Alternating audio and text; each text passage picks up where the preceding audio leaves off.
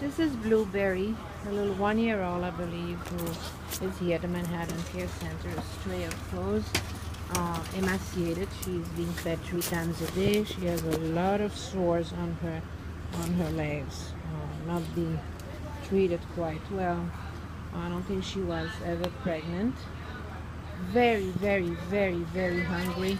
Uh-uh, mama. Wait a second here. See, she's really, you know, gulping the, the, the food like crazy.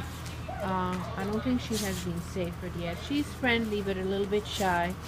Um, and uh, she has been good in playgroup. She has not shown any aggression or even fear. Uh, you know, when she meets other dogs, she's playful uh, but just very, very hungry. And she has a lot of pounds to catch up with. Lots of pounds. Uh, really not taken well care of.